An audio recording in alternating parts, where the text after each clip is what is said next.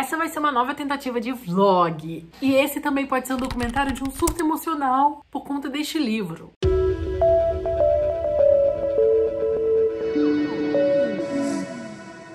Olá, todo mundo! Sejam bem-vindos a um vlog de leitura. Esse ano estou tentando colocar de forma intrínseca os vlogs de leitura no Cabo TV. Vamos ver, vou tentar fazer pelo menos um ou dois por mês. Me desejem sorte, porque essa é a parte difícil. Gente, hoje eu vou finalmente ler um livro que tá há muito tempo na minha lista de leitura, algo que eu tô há bastante tempo juntando coragem para ler. Sei de todas as temáticas, como é que ele vai trabalhar temas importantes e muito polêmicos e muito às vezes tabu, e de uma forma que vai ser muito dolorido, eu imagino assim, né? Que é Proibido dessa mulher maravilhosa que eu esqueci a capa é da Tabitha Suzuma. Esse livro, ele vai contar a história de dois irmãos mais velhos que são responsáveis ali pela família, né, pelas crianças da família. Eles juntos cuidam de outros três irmãos mais novos e a mãe deles é uma mãe super ausente, ela tá sempre fora com o namorado e não trata eles de acordo com a mente de uma adulta, assim, ela se recusa a envelhecer e isso é angustiante também, né, pra história deles. A gente gente tem aqui descrição na sinopse, né, que a nossa personagem feminina, ela é doce, ela é sensível, ela é extremamente sofrida, tem 16 anos, mas tem a maturidade de uma mulher marcada marcada pelas provações e pelas privações da pobreza. E no entanto, temos o menino, que ele é brilhante, generoso, altamente responsável, tem 17 anos, mas a fibra e o senso de dever de um pai de família lutando contra tudo e contra todos para mantê-la unida. Então a gente tem esses dois personagens que são irmãos mais velhos, ela de 16, ele de 17, que cuidam da família juntos e sozinhos. E aí apresentamos essa possível romance não nada romântico entre irmãos. O incesto. Então, vamos ver como que funciona. Muita gente é elogios absurdos. E o mais legal é que eu vou dar proibido para vocês. Yeah! Vamos sofrer tudo junto! Que delícia! O Esquilo está patrocinando esse vlog maravilhoso. Eu estou com proibido aqui aberto no aplicativo e você só precisa resgatar no link que tá aqui embaixo. Clicando no link, você vai abrir esse link para você baixar. É bem fácil, vai aparecer minha carinha, o livro de proibido. Lá embaixo você vai inserir os seus dados nos campos e vai clicar em quero receber o livro agora. Quando você fizer isso, você vai entrar nessa página aqui que tem os três passos de como você vai acessar tudo e vai clicar na opção baixar o esquilo e ler agora. E aí ele vai te redirecionar para uma outra página e lá você vai baixar ou abrir o seu aplicativo. Se você já tiver o aplicativo do esquilo instalado, o proibido vai aparecer automaticamente na estante para você. E sempre aparece aqui para mim todos os meus últimos livros recebidos pelo esquilo. Eu sempre recebo livros ali. Todo mês a gente recebe um livro e você pode fazer trocas de livro também aqui em cima. Eu troco livros e aí eu vou lendo. E gente, é extremamente fácil de ler. Vou dar continuidade na leitura, tá? O vlog começou, mas eu já tinha começado a ler o livro na live. Eu estou lendo o livro no madrugadão da Twitch. Ele começou às sete e meia da noite e vai acabar às sete e meia da manhã e nesse momento são quatro e quarenta. Eu peguei o livro há mais ou menos uma hora e já estou em 15% do livro, né? Nessa parte que eu tô mostrando pra vocês. É bem fácil de ler, só você clicar no livro, é, vai aparecer as descrições e tudo, e aí você clica em iniciar leitura, aquele tá onde eu parei. Você pode fazer exatamente, gente, vocês podem mudar a fonte, aumentar e abaixar, Tá vendo? Vocês podem aumentando, se vocês quiserem, né? Vocês podem diminuindo. Você pode escolher a fonte que você preferir tá? Eu gosto muito da Yowan. E aí também você pode, lá em cima, escolher se você quer no modo sépia, no modo dia, né? Ou no modo noite, que é o que eu mais gosto. Você também pode selecionar e aqui índice e ver pelos capítulos. A gente vê aqui que Proibido tem 26 capítulos, mais um epílogo. Todos eles narrados em primeira pessoa, tanto pela Maia quanto pelo Locan, Lochan, não sei o nome dele agora. Tem as descrições e os marcadores, os destaques conforme você for marcando. Eu já marquei dois destaques aqui. E é isso, gente. Vou deixar a classificação indicativa com as possíveis listas de gatilhos e conteúdos aqui no, na tela para vocês, aqui no cantinho. E a minha intenção é vivenciar essa experiência, contar como é que é esse livro para vocês, vocês acessarem o livro no link, baixar e ler de graça no esquilo como eu tô fazendo agora. E claro, gente, compartilhando o que, que eu tô achando do livro, qual é que é a experiência, como é que tá sendo nesse madrugadão. Eu li há uma hora e pouquinha 15%, então uma leitura que parece bem mais rápida, realmente é bem rápida. E no celular tu vai passando assim, ó, se nem sente, maravilhoso. E bora continuar. Bem, gente, estamos aqui ao vivo, ó, estou em 15% do livro, estou ainda, gente, em plena 4h42 da manhã, a gente tem 118 pessoas aqui e tá todo mundo lendo. Enquanto tá todo mundo aqui, desconsiderem, por favor, essa bagunça aqui de uma live. Vou continuar lendo aqui, vou continuar aqui de onde eu parei. E é isso, gente. Vamos de sofrimento em plena madrugada. Ali tá tocando uma musiquinha, a live tá rodando, ali é o chat. E bora, partiu.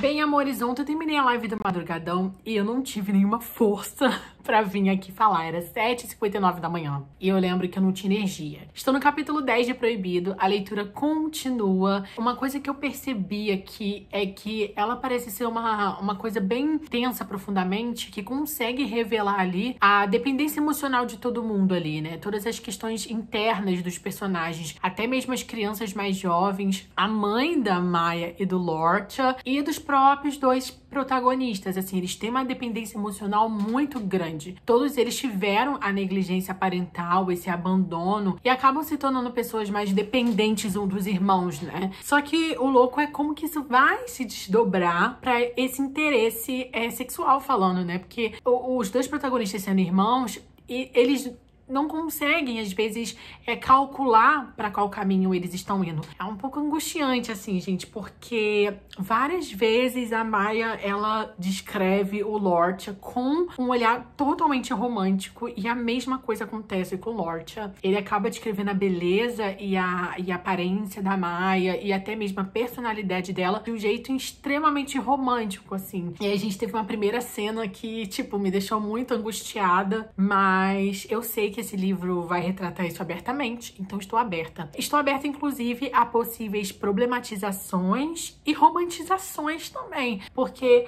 é bem pode acabar caindo, né? Esbarrar na romantização de um assunto tão denso, tão tenso e tão complicado. Mas continuo gostando da escrita, a autora é incrível, é, narrando as descrições, como que ela é, coloca ali em ação os acontecimentos, da, da, a dinâmica familiar, que é tão complicada. E eu não sei o que, que vai acontecer, o que mais pode acontecer agora para as coisas começarem assim, realmente por água abaixo. E o Lot é um personagem que ele carrega muitas responsabilidades e ao mesmo tempo é uma pessoa que não tem psicologicamente força o suficiente para lidar com tanta responsabilidade tão jovem, né? Ele tá no limite dele. Pode ser que esse interesse amoroso na Maia seja uma zona de escape. Ele aparentemente tem uma fobia social. É importante lembrar ali que ele tem uma característica de fobia social. Ele não consegue interagir com outras pessoas.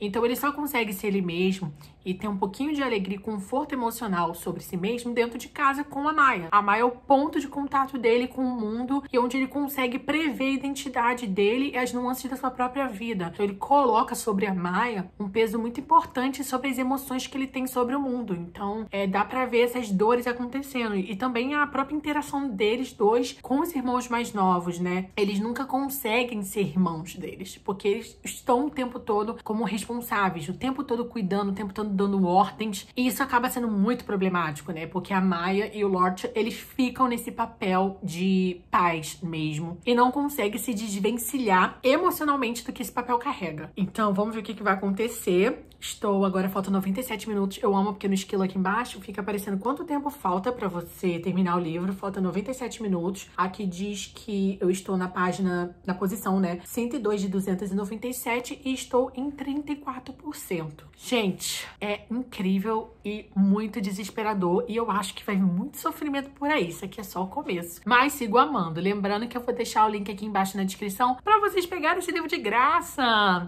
Isso tudo pra mim.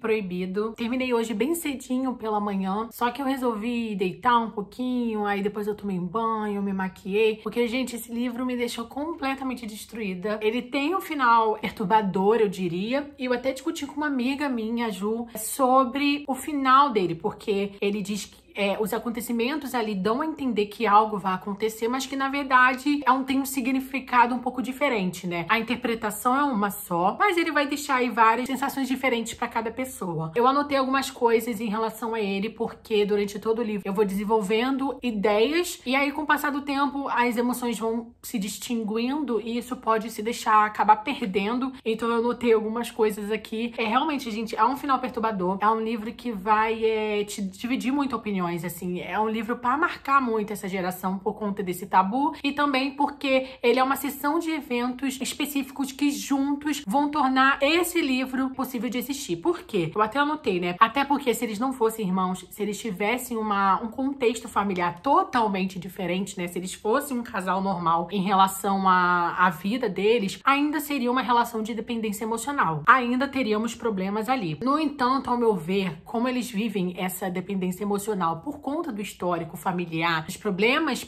é, psicológicos, principalmente que o Lord tem, eles acabam vivendo essa dependência emocional. É um jogo de causa e consequência mesmo. E não dá para ficar colocando muitos sis na história, né? E se fosse assim? E se fosse assim? É uma estrutura narrativa fechada que tem um início, meio e fim. Esse é um tipo de livro que traz um problema que não tem solução, gente. É complicado pensar, mas a única solução, principalmente para esse caso é, do Lord e da Maia, é se o problema nunca tivesse existido. Ele está em um contexto social problemático, doloroso, que costuma abalar não só essa, esse casal, mas toda a família. Então não tem para onde correr. E não dá para levar esse relacionamento para um lugar de paz, não dá, tranquilidade, normalidade, porque vai contra a natureza desse relacionamento. E o preço para ele existir e por ele existir, essa união sexual entre dois irmãos é cruel. Então, o preço precisava ser pago. Não tô falando do final em si, mas as dores e todas as consequências são o preço a ser pago de tudo isso. Eles ficavam o tempo todo falando, né? Eu reparei, ah, os rótulos. Eles até falaram uma hora assim, é,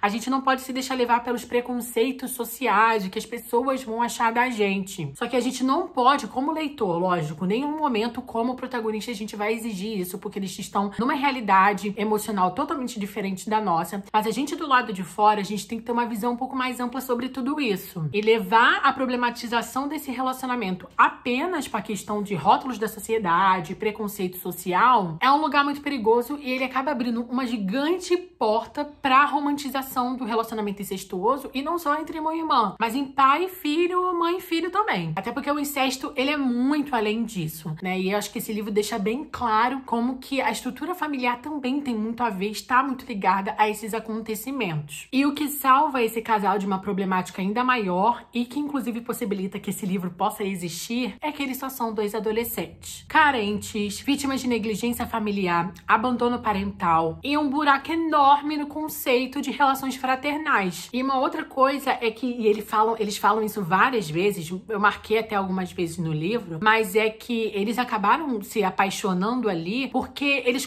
eles nunca entenderam que eles eram irmãos de fato, porque a relação fraternal para eles era, uma, era uma, um ideal totalmente distorcido do que realmente é. O fato de eles se tratarem de igual para igual, de serem parceiros, né, de estarem sempre falando no mesmo nível, nessa troca de respeito mútuo, entendendo um ao outro, para eles era algo que não era natural, o que deveria ser naturalizado todas as famílias, né? Eu falo muito por mim, pelas minhas relações com os meus primos, então, como eles não encontravam isso em nenhum outro lugar, inclusive entre os outros irmãos mais novos, eles achavam que o que eles tinham era único. Então, eles sentiam paz um no outro e uma sensação muito única de querer viver sempre um com o outro para sempre. Eles, eles sempre projetavam nunca se separar, também porque eles não tinham esse porto seguro e essa confiança, essa amizade em outro lugar. A melhor amiga da Maia, eu até marquei aqui, né, Francie, ela é uma adolescente adolescente completamente alheia aos problemas familiares, da estrutura. Ela tem uma ideia das privações da pobreza, das enormes responsabilidades que eles sofrem, mas ela não vê toda a negligência emocional, psicológica que eles sofrem por conta dos pais que os abandonaram. E a fobia dos Lord é o que intensifica tudo. Então, é importante lembrar, todos os elementos desse romance juntos, eles tornam a natureza desse romance capaz de existir e única. Proibido não seria possível é, ser lido e admirado dessa maneira maneira se fosse diferente. É exatamente especificamente como ele é, traçando os perfis de cada personagem, todo o entorno, todas as questões psicológicas, é que possibilita que a gente entenda as relações deles, um com o outro. Se o Lort não tivesse uma fobia social e tivesse outros amigos, o relacionamento já não teria tanto respaldo assim. Se não tivesse negligência parental, provavelmente toda a dependência emocional que um sentisse pelo, pelo outro e o conceito de fraternal e a visão fraternal que eles teriam sobre a relação deles também seria diferente. Eles, inclusive, questionam tudo isso durante toda a história. Se eles tivessem um pai presente, se eles tivessem mãe presente, né? Se eles tivessem um pai e uma mãe presente, provavelmente a, a história da fobia, dos ataques de pânico do Lort também seriam diferentes. Então, é muitos ICs, mas que precisam ser retirados para possibilitar a história, possibilitar essa narrativa e os acontecimentos, até mesmo os acontecimentos finais. É um livro para perturbar, gente, mas para trazer à luz esse ideal, né, de que ele acontece, ele tá aí. Os relacionamentos sexuais entre irmãos, eles estão no mundo, eles acontecem. A vida não é um mar de rosas, as famílias não são de propaganda de margarina, todo mundo tem problema familiar em casa, isso gera consequências drásticas até para futuras gerações. Então, eu vi muitos comentários, né, da galera que chipava, da galera que entendia, da galera que falava que eles poderiam ter tido um final juntos. Eu discordo, eu acho que é bem diferente, né? Cada um vai ter uma interpretação. Eu não consigo ver isso sendo possível, mas eu acredito muito que a verdadeira, se houvesse uma solução para isso, se alguém tivesse que pagar o preço sobre tudo isso, os verdadeiros vilões dessa história são os pais do Lorde da Maia e das crianças, né? O cara que foi embora para Austrália e essa mulher que eu esqueci o nome também, eu não lembro o nome dos pais deles. Eles são os verdadeiros vilões dessa família. Então é isso, não podemos culpar ninguém, não podemos, né? Até porque o que foi feito foi feito, o que aconteceu nessa história aconteceu. É muito doloroso, é perturbador e muito triste, mas é um livro incrível, de cinco estrelas. Ai, né? preciso marcar terapeuta. Horrível final, muito triste, muito perturbador. Cinco estrelas e favoritado. Eu sou toda essa. Realmente, cinco estrelas, gente. A Tabitha, ela teve uma, uma sensibilidade muito grande para poder trazer à tona a profundidade desses sentimentos, a complexidade, né? Do ideal mesmo, né? Daquilo que eles conheciam como cultural, como costume, como dito pela sociedade. Eles nunca em nenhum momento acharam 100% lindo o que eles estavam vivendo. Eles entendiam o que estava acontecendo ali. Chegavam e investigavam a a fundo os motivos para que aquilo acontecesse, mas também não fugiam do que estavam sentindo. Bem no início do livro, eu não vou conseguir abrir agora que eu tô sem internet, mas eles falam, né? A gente pode fechar os olhos para aquilo que a gente tá vendo, mas a gente não pode fechar os olhos para aquilo que a gente tá sentindo, né? Não dá para fugir, né? A gente consegue ver o entorno, até mesmo problematizar tudo isso, mas não consegue fugir do final. Então foi um livro incrível. Foi um livro que eu não vou indicar para todo mundo. Eu não acho que todo mundo possa ler, independente da idade. A gente tem a classificação e a lista de conteúdo aqui sempre, mas não é um livro que todo mundo vai sair lendo e vai achar, ó, oh, chuchu, beleza, maravilhoso. Não é assim que funcionam os livros. Eles são impactam, né, de forma totalmente diferente cada um, mas nos enriquecem. Eu saí um pouco mais idealizada assim. E eu, eu não sabia que era crime no Reino Unido. Eu até vou pesquisar para ver, né, em quais países especificamente a gente tem crime crime, o respaldo, né? A sentença de prisão. E é doloroso, assim, um contexto social acontecendo. Bem, amores, é isso. Não deixa de ser incrível e emocionante. Se você quer muito ler Proibido, eu vou deixar o link aqui na descrição para vocês pegarem e lerem no aplicativo. Foi uma experiência muito incrível, extremamente agradável, emocionante, agradável no sentido de que é um livro que me prende muito. Eu fico, eu sinto muita empatia pelos protagonistas, né? A Maya Lord, principalmente as duas crianças mais novas, são personagens que nos que a gente gente quer abraçar, a gente quer ajudá-los de alguma forma, a gente deseja que eles encontrem paz, alegria, felicidade, uma, uma relação harmônica, né, naquela família, mas nem tudo é como a gente quer. Se fosse assim, né, seria até mais fácil. E se você quiser ler o livro, eu vou deixar aqui embaixo o link. Lembre-se, não se esquece, é só você depois acessar o baixar o aplicativo do Esquilo. Se você já baixou o aplicativo do Esquilo, já tem ele no seu celular, para resgatar é só você continuar preenchendo o formulário normal e aí, em vez de você baixar o aplicativo, vá abrir o aplicativo direto e já vai estar tá lá o livro para você. Então é isso, meus amores. Muito obrigada por ter assistido esse vlog, essa tentativa de vlog. Volto com mais vídeos ainda essa semana e espero que vocês tenham um excelente dia. Pique, pique, beijo para vocês e até mais. Tchau!